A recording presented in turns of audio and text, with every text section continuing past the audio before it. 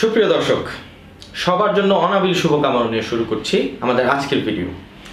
আজকের ভিডিওটিতে আমরা তথ্য দেওয়ার চেষ্টা করব ময়মনসিংহ জেলার সর্বশেষ ঘোষিত উপজেলা, তারাকান্দা উপজেলা নিয়ে। তাহলে চলুন, শুরু করে দেয়া যাক আজকের ভিডিও। তারাকান্দা উপজেলা, ফুলপুর উপজেলার অন্তর্গত একটি থানা ছিল।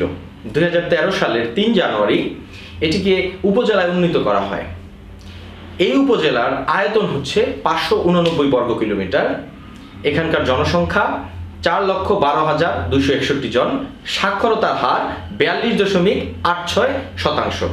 তারাকান্দা উপজেলার কিছু উল্লেখযোগ্য এবং দর্শনীয় জায়গার মধ্যে রয়েছে পুনুরিয়া পদ্মবিল, বাবুরবাড়ি দাদরা, মনপবনের গাছ, ক্যাথলিক মিশন ঢাকুয়া, কেন্দোয়া জামে মসজিদ, নন্দলাল সিংহবাড়ি কয়রা সিদ্ধি কালীবাড়ি মন্দির ইত্যাদি।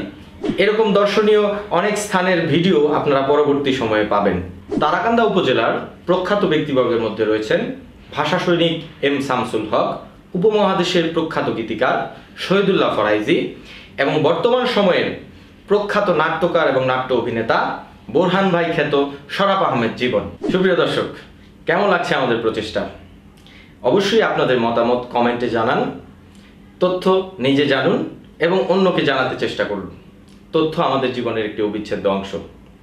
সুপ্রিয় দর্শক, আজ এ পর্যন্তই।